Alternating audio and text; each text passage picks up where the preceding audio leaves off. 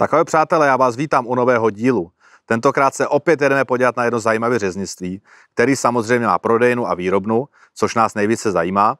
A dneska nám to všechno bude ukázaný. A vy se nás hodně ptáte, kde vždycky se nachází to řeznictví, takže já vás malinko navedu. Takže když pojedete z Prahy na Benešov, potom se dáte okolo Čapího hnízda, pojedete tak 2-3 kilometry a šup doprava a jste ve Střebicích. A to je právě tady. Takže my se nacházíme ve Střebicích a je tady krásná výrobnička s prodejnou, takže se jdeme na to podívat a jdeme vám to ukázat. Tak pojďte s náma. Přátelé, my se nacházíme uvnitř, jsme přímo na bourárně, jak jste poznali tady za mnou, už vy jste krásný čtvrtě. A já jsem moc rád, že tady mám standu. Ahoj Stando. Ahoj Honzo. Hele, byl bych moc rád, kdyby se nás tady proved. Slyšel jsem, že nás tady provedeš teda. Tak jestli bys nám teda všechno ukázal a co tady všechno máš? Tak, eh, fajn. Já bych vás milé rád přivítal u nás eh, v rančerských specialitách ve Střebicích. Eh, Teď se nacházíme tady u nás na Bourárně a ukážeme vám tady kompletně celý provoz. Takže teď se nacházíme tady u nás na příjmu. Tady to vlastně všechno začíná. Najede auto z jatek eh, s vepřovými půlkama, s hovězíma čtvrtěma. Skládáme to klasicky, vážíme, přejímka zboží. Jo. Hodně nám tady v tom pomáhá to hydraulické rameno, protože přeci jenom ta hovězí čtvrť má 100, 120 kg kolikrát, tak aby jsme to nedělali ručo, tak prostě krásně si s tím zajedeme, zvedneme až nahoru na hák, spustíme a všecko krásně, řezník se nedře, To je prostě pěkná paráda. hračka. To je pěkná hračka Stando, ale. To je krásná hračka, ale pomůže, aby jsme se tak nenadřeli. No a tady po příjmu jdeme sem na bourárnu, kde už probíhá klasický bourání těch půlek a hovězích čtvrtí. Bouráme to klasicky na části, na výsek děláme kuchyňskou úpravu přímo na prodejny a ořezy třídíme podle tříd jakosti a z těch vyrábíme naše uzenářské speciality a výrobky.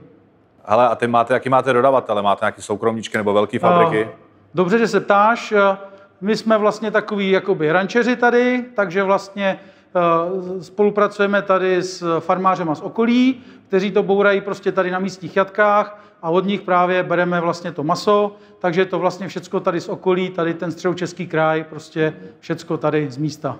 To je super. Pomáháme vlastně tím těm našim vlastně sousedům a pomáháme si navzájem, aby jsme prostě dělali kvalitní výrobky a tady prostě jsme pišní na to, že prostě farmáři tady u nás dokážou eh, vychovat prostě krásné kusy, který prostě my jsme pak chop- schopní zhodnotit prostě v kvalitní výrobky. Hele, je potřeba prostě podporovat to české zemědělství. Určitě, určitě, Nemá cenu protože bez těch zemědělců prostě to nedáme. Jako jo. To je hezký. Tak to začínáme hezky. Jo. Tak jdeme dál, Stando. Můžeme jít dál? Opět vidíte, že tady nejsou zaměstnanci. Není to kvůli tomu, že by tady nechtěli být, ale oni měli ranní šichtu, my jsme dneska tady odpoledne, Mhm. mm-hmm. ale i tak jsme rádi, prostě, že nás tady provedeš a ukážeš nám to. Ono je hezky to ukazuje, když je to umytý a čistý, viď? Jo, jsme Možná na to to pišní. Máme krásnou výrobnu a jsme opravdu hrdí na to, že prostě v těchto těch prostorách můžeme pracovat a vytvářet ty kvalitní výrobky. Super, hele, kolik tam máš chlapů tak na bourárně? Tady jsou tři chlapy. Tři chlapy. Z každé strany jeden, jeden tady, mrskají nožema a odsejpáme to od ruky. To je super. Musíme se hejbat, aby nám to šlo pěkně od ruky. Super, tady se pár do výrobny. Jdem se podívat. Tak jo, tak jdeme dál. Hele, Stando, jsem moc rád, že máte dobrý vkus na nože. Jo, musím říct, že jsme na to pišní, protože prostě tahle značka prostě se nám tady opravdu od začátku osvědčila. Chlapům se to dobře drží v ruce, mě taky, řežu tady s nima, takže prostě na tyhle ty nože já jsem zvyklý už z dřívějška a prostě fakt jako kvalita, drží to ostří a jsou fakt dobrý. No.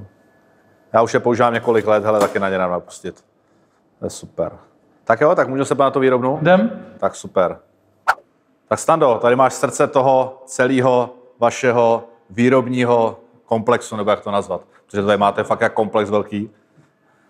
No, to je naše chlouba, velký kutr, potřebovali jsme ho, vyrábíme toho víc a víc a protože vlastně náš výrobní sortiment se neomezuje pouze na drobné masné výrobky a vařenou výrobu, ale děláme i kompletní sortiment trvanlivých výrobků, což určitě ví, že ty se dělají z zmrzlý podchlazený suroviny.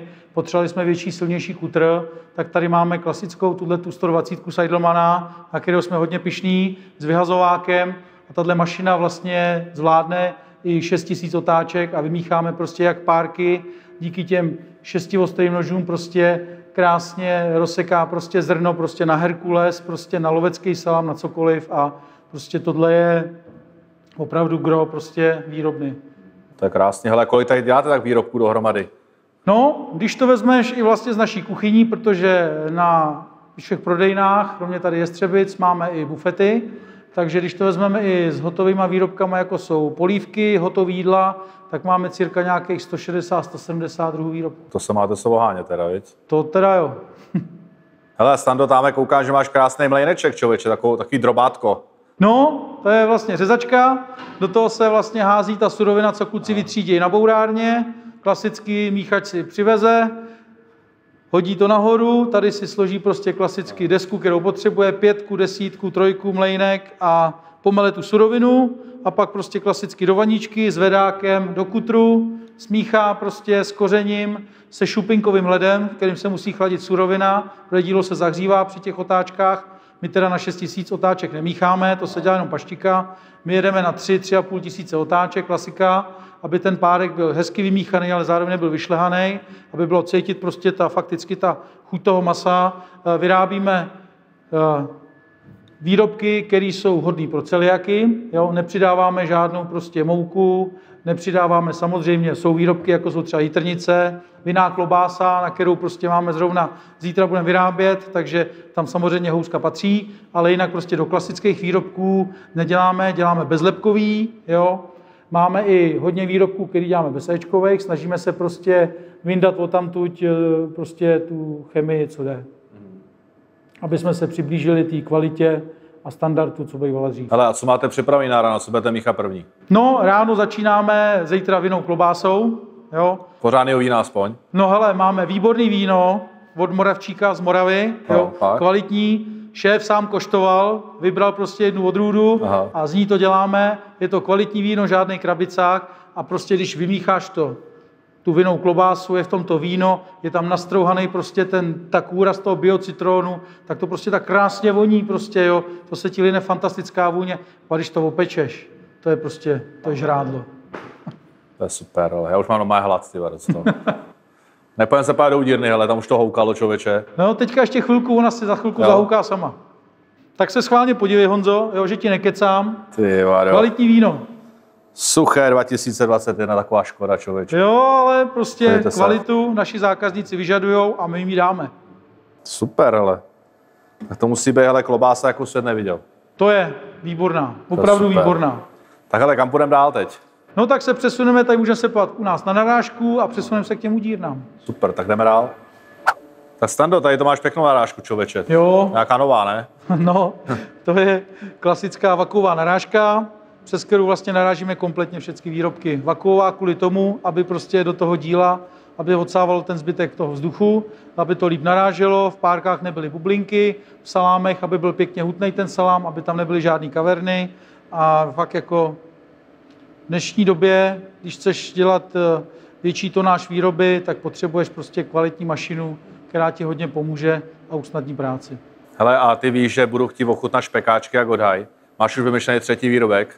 No ty párky ochutnáš. Párky ochutnám, dobře. Hele, a tady ta narážka, zase na- nabízí se otázka, když dáš ty špekáčky, jestli to vážete ručně, nebo vám to váže už stroj? Všecko vážeme ručně. Všechno ručně, je krásný. Máme sice samozřejmě tady poliklip, jo, poloautomat, jo, ten je fantastický, protože děláme buštíky, paštiky, jo, Aha. ale pánové jitrnice vážeme, no teda jitrnice špejlujeme ručně, jo. Teďka jich děláme tak 100, 150 kg, ale v zimě, v zimě jich děláme 300, 400 kg. A ručně Špejlovat. špejlovaný. To je masakr. Ale tak to má být, že jo? Jako ta sponka, Děláme kvalitu. to je super.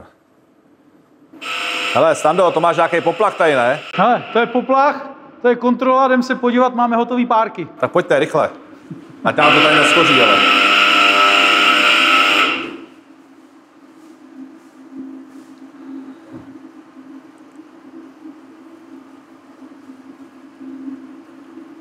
No jo, to je nádhera, ale.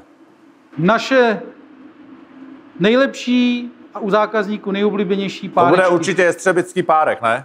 Je to jestřebický párek, ano, přesně No to tak. máš tam napsaný nahoře, víš? Mám pojmenovaný pro ty programy. Krásný, ale.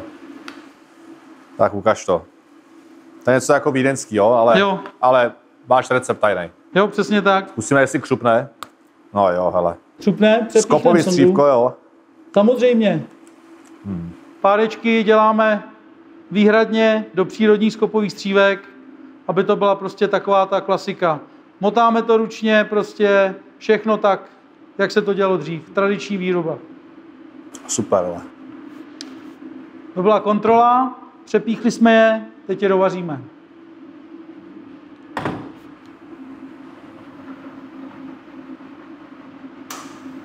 Tak, tady to je vlastně místnost tepelného opracování, je to varná. Máme tady 300 litrový kotel, ten už nám byl malý. Pořídili jsme 600 litrový To je kotel. bazén už, ne? No, to je pořádný kotel. Vaříme v něm třeba držkovou polivku. Jo. Hm. A vedle máme krásnou pánev, ta je fantastická, kluci v ní dělají základy na vomáčky a tady máme krásně čtyři udírny, máme tady dva konvektomaty, jeden poloviční, jeden kombi velký, no a pak vlastně nám tam napojuje se dál sušárna. Hele, a čím tam udíš v těch udírnách? V udírnách udíme samozřejmě dubovými štěpkama, Aha, není to je tekutý kous, jsou to dubové piliny, mořený, jo. Aha. klasika. Jo. Jak říkám, děláme všecko podle tradice a jak nejlíp to jde. To je Ten kous krásný. je samozřejmě daleko silnější, aromatičtější a ta vůně prostě eh, je fantastická. Hlavně ten kous ti ten výrobek i konzervuje zároveň. Přesně tak. Tak se nepojede do té tvojí místnosti, dáme do té jedničky, jo? Dobře, Co to do té bude? jedničky, co je tam schovanýho, já jenom vyndám ty párky. Vyndej párky v pohodě, nenech se rušit. My se na to podíváme, jak to vyndáš. Kolik je tam zhruba kilo na tom vozejku? Na tomhle vozíku je 80 kg. 80 kilo. Tak to je hodně párků, ne? Máš to No. spočítaný? No, když o tom tak mluvíš, tak na jednu hůlku se vejde 22 párů. Na jednu řadu se vejdou tak čtyři hůlky většinou, musíš to prokládat, aby se Aha. to prosušilo. No, dalo by se to lehce spočítat, no. Napište nás schválně, kolik je výsledek do komentáře. Matematická úloha. Tak. Krásný. Pojď se pojď blíž na ty párky, no to je nádhera. No a když vylezou z té udírny, tak je musíme rychle schladit, aby nebyly krabatý. Tak. Teď jsou krásně vyšponovaný, holky to pěkně narazily, tak pustíme jim sprchu. Krásná práce.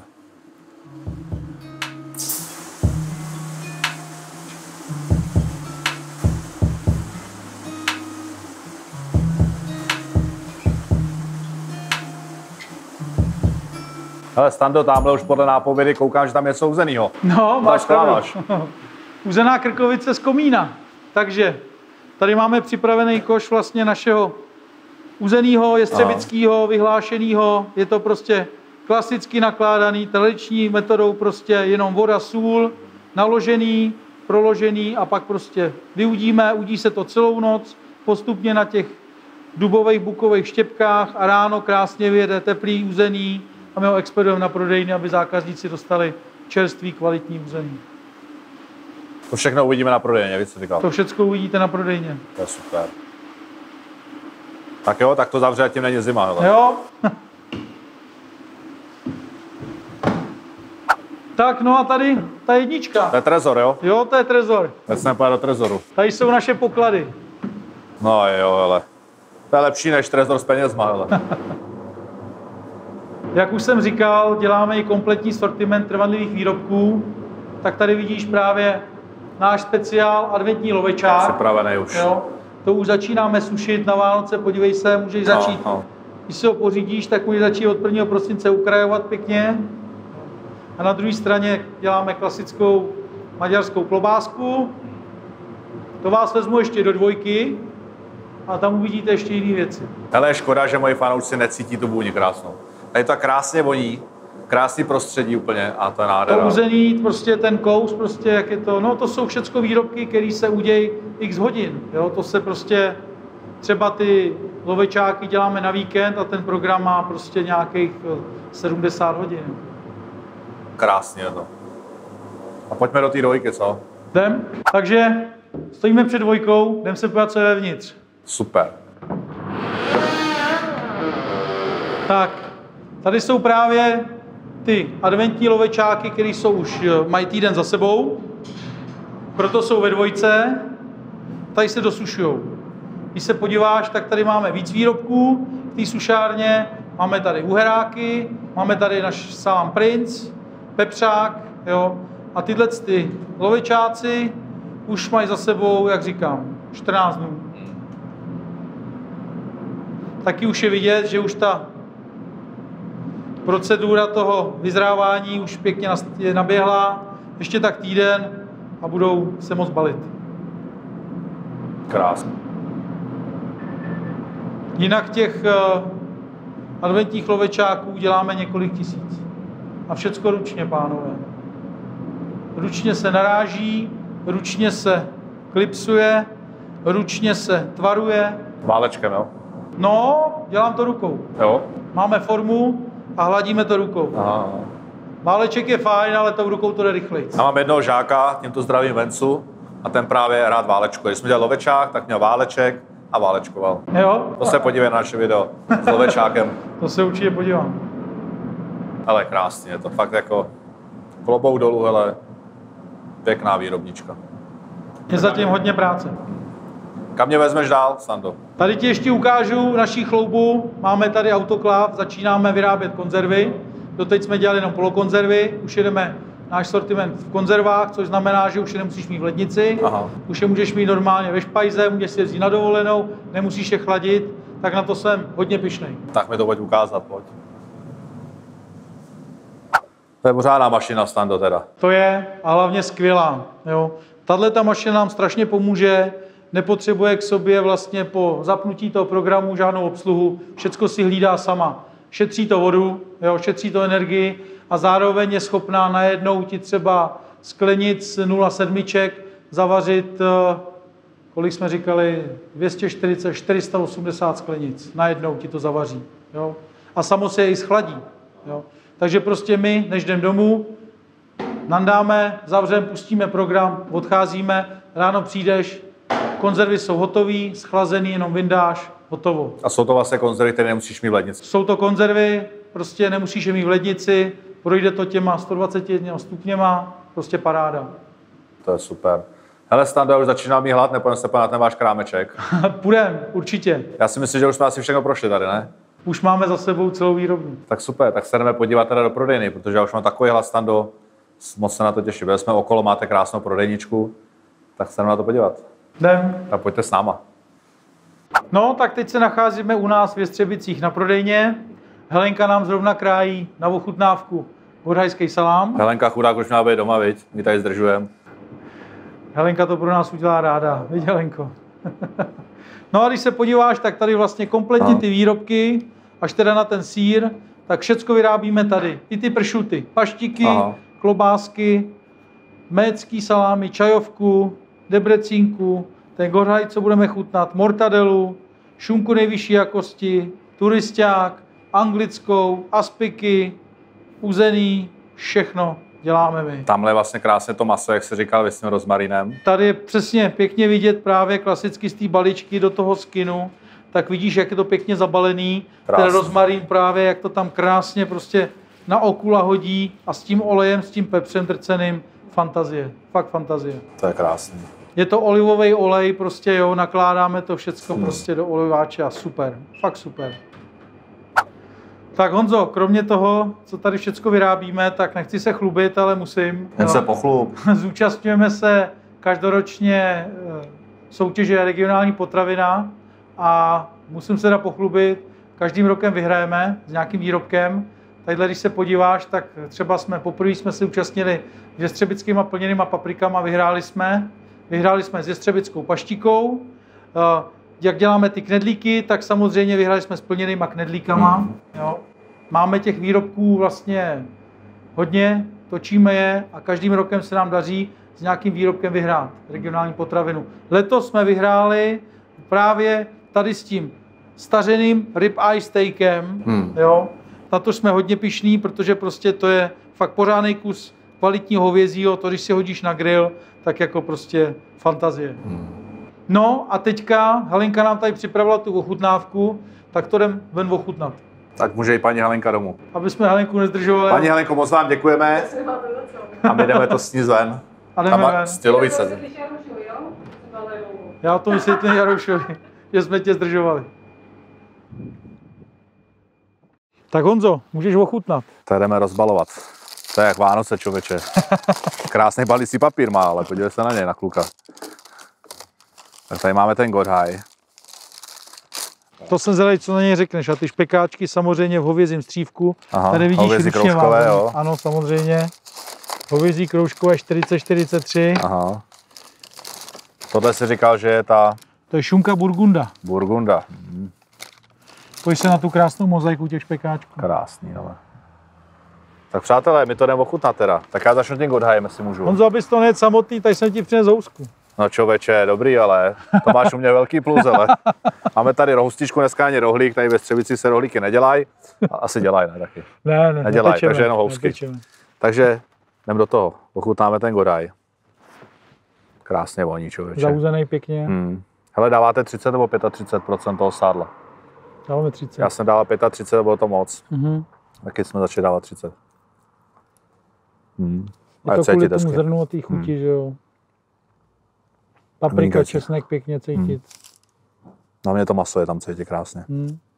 Žádná mouka, viď. No ne, Ježíš Maria, mouka. Všecko Že to také nemůže dát každý, jak by byl ten svět úplně v pohodě. No jo, problém je o tom, že prostě někdo chce kvalitu a někdo chce kvantitu. Hmm. Za určitou A cenu. rychle vydělat, viď. Ano, přesně tak. Tak jestli mi řízneš kous- kousek toho špekáčku, ten Godhaj je vynikající. Ten špekáček, nechci se chvástat, ale to je paráda. Od té chvíle, co jsem tady začal pracovat, Hmm. tak moje rodina, moje známí příbuzní už žádný jiný uzeniny prostě nechtějí. Jak to jednou ochutnají, Hmm. tak už jiný nechtějí. Je zatím teda pořádný kus práce, Hmm. ale když máš kvalitní surovinu, tak to jde hnedka s nás. Kvalitní výrobky a ty lidi se vracejí, že jo. to Přesně je tak. Paráda. Přesně tak. To je bomba. Hm. Jdeme do té šunky teda. Je tam hezky to sádlo. Taky To je celosvalová jo. šunka, Hm. A děláš to skýty, jo? Nebo je to skýta. skýty? Mhm. Ale to je bomba. Já vím, že se opakuju, ale i do třetice je to super. Ale. Je to dobrý? Hmm. Tak to jsme rádi. Tak krásný. Přátelé, pojďte se na tu krásnou mozaiku tady těch výrobků, protože to je fakt nádhera. Sám do toho ani nesním, člověče. No to si vezmeš s sebou na cestu, abyste neměli hlad. Máš pořádný kus cesty před sebou. To je tak pravda. Hele, Stando, tomu není co dodat, ty Vero. Hele, jestli chcete, já vám tady dám samolepku, vylepte si ji, jestli chcete. Ovšem, no teda děkujem. Je mi teda líto, že dneska pan majitel tady nemůže být, on je opravdu nemocný, omlouval se nám, ale myslím, že Standa se toho chopil perfektně. A přátelé, jestli pojedete okolo, tak určitě se tady zastavte, protože fakt to stojí za to. A pokud se vám video líbilo, napište nám určitě, hoďte tam like, odběr a zvoneček, ať vám udrží další pěkný video. A my se budeme těšit u dalšího dílu, protože tohle mě baví, hele, a není to poslední díl. Skvělý. Hele, Stando, díky moc My za děkujeme všechno, za fakt to bylo super. Tak přátelé, mějte se krásně a u dalšího dílu. Ahoj.